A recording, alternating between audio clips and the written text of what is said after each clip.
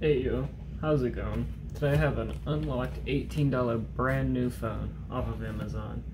It is the Blu Z5. Taking a look at this absolutely tiny packaging. It's a GSM quad band 850, 900, 1800, and 1900. So if your carrier supports 2G, because this phone is unfortunately 2G, it will pretty much work. That's, I mean, that's what that means. It's pretty universal as far as that goes. It's got a 1.8 inch display, a 0.3 megapixel VGA camera, a 600 milliamp hour battery, a built-in FM antenna and a flashlight, but it is called the torch. Now, I've already opened the box, unfortunately, because I've already recorded this video, but then it went corrupt. So, good on you. So, um, it says Z5 right here, and you get a little preview of the phone right here, but it overlaps to the bottom for some reason, so that's interesting. Getting into the actual Amazon listing, you can see that it is dual SIM, 1.8 inch display. It's 128 by 160. It's 114 pixels per an inch. And there's about an inch worth of display. It's got 32 megabytes of storage and 32 megabytes of RAM with a micro SD card slot that goes up to 32 gigabytes a VGA camera, which is 0.3 megapixels, as I said, um, a 600 milliamp hour battery, a built-in FM antenna. It. They call it an MP3 or MP4 player. It's got a flashlight, and as I said, it supports GSM 850, 900, 1800, and 1900. So getting into the actual unboxing of this device, see it uh, comes up.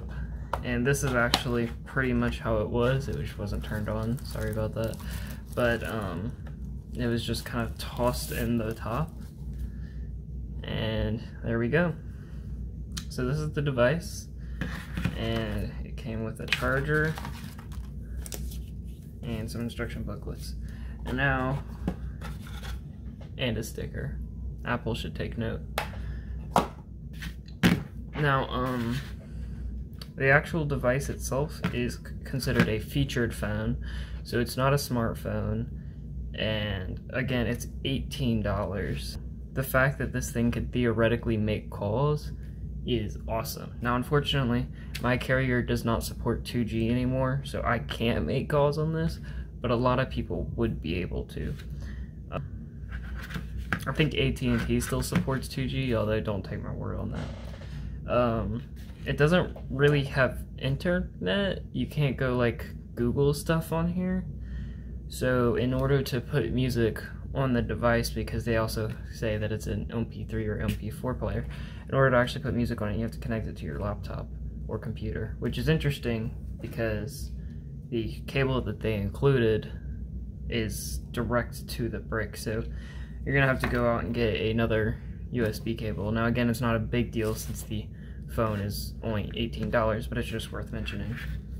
Um, the battery is not included inside the phone, so you actually have to install it, but taking off the back of this thing is actually not as easy. It's, I mean, it's easy, but it's not as easy as you think. It's very stiff on there. It actually feels pretty good. Um, this is the tiny 600 milliamp hour battery.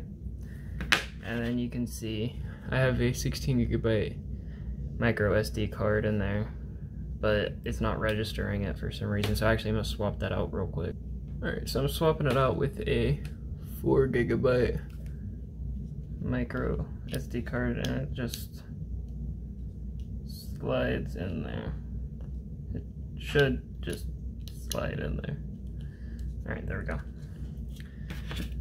Alright, battery goes in like that camera goes in, I mean, that casing goes in over that. On the outside, we have the speaker, which is actually above the pinhole camera.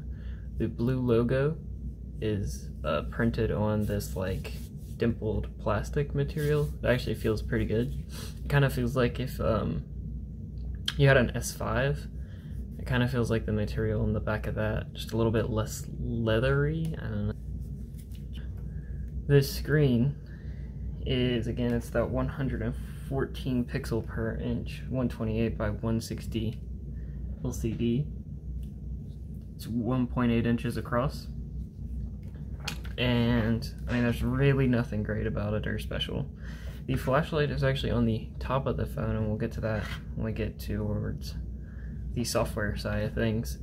And you have a four-way directional keypad with a middle click, a back and other back button. I don't know.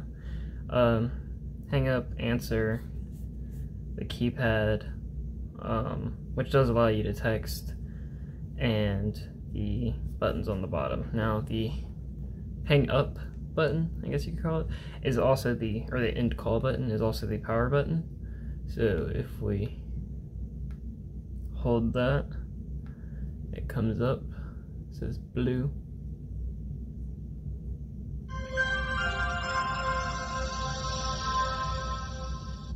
Absolutely beautiful. Alright. And now we are in the menu of the phone. So it does have dual SIM, as I said, which a lot of high-end phones don't have, so that's pretty interesting. And here, so here is some of the software side of things. So we have the message area, or the message app, the message app, and um, yeah, it's uh, it's just SMS, MMS, all that. Um, it kind of more reminds me of like an email app, an old email app, rather than like a text message thing, but there you have it. Um, you have your call logs. So yeah, it's, it's again, it's just very basic. Um, so if you just click right on the keypad, when you're in like the middle section of the screen, it brings up the audio player. I don't have any installed music. Um, the third one, the blue one, is the organizer. And you have the file manager, calendar, alarm, calculator, world clock, stopwatch, Bluetooth, torch, and games. And so torch is actually that um is actually just the flashlight. And so you can click it on or off. So now it's on. And it's not bright, but I mean, it's there. This actually persists an issue or creates an issue with the camera because since the flashlight is on top here and not next to the camera, there's no flash for the camera. Um, which just makes the image quality look so much worse, you know, and it's already really bad. So I feel like they could have just implemented it right here. It would have made so much more sense. And usually with like a low-end camera, more light will actually make the uh, image appear a lot better because they suck in low light. Um, it does have a games folder, uh, but the games folder only has one game. It's called Pure Jump. It's pretty interesting. Basically, what, what you do is you hold it down and jump from square to square, but the longer that you hold it down, the farther that it jumps. So you have to make sure to land on the square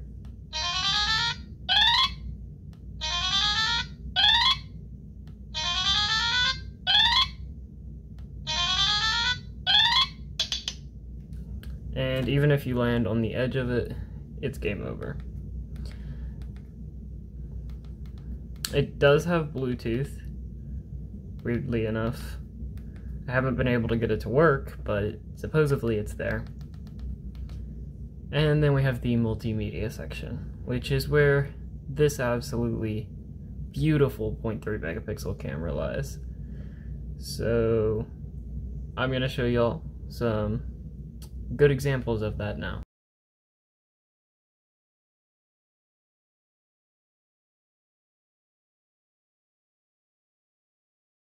So that's pretty much it for the main features of this phone. It's pretty, um, I mean, when you consider the price, this is a really good deal. I mean, you go out to lunch for $18, you know, like, dinner. Um, if you click this button, you have a more brought up bigger version of um, these four apps down here. Um, this kind of just tends to be a back button, but it also brings up your contacts. And uh, the keyboard, I forgot to mention, is actually backlit. So in the dark, you'll still be able to see it, which is pretty interesting. And actually a pretty cool feature for, again, a phone that is only $18 shipped to my door. Um, so yeah, oh, and it does have a headphone jack. Forgot to mention. Micro USB, there's the microphone for it. So overall, I'd say that this phone is actually a pretty solid deal. I mean, 18 bucks, you know, toss it in your car, forget about it. If you need an emergency phone, there you go. I can't use it as an emergency phone because my carrier doesn't support 2G anymore, but if your carrier does support 2G, and other than that, I'll see you all guys at another time. Later.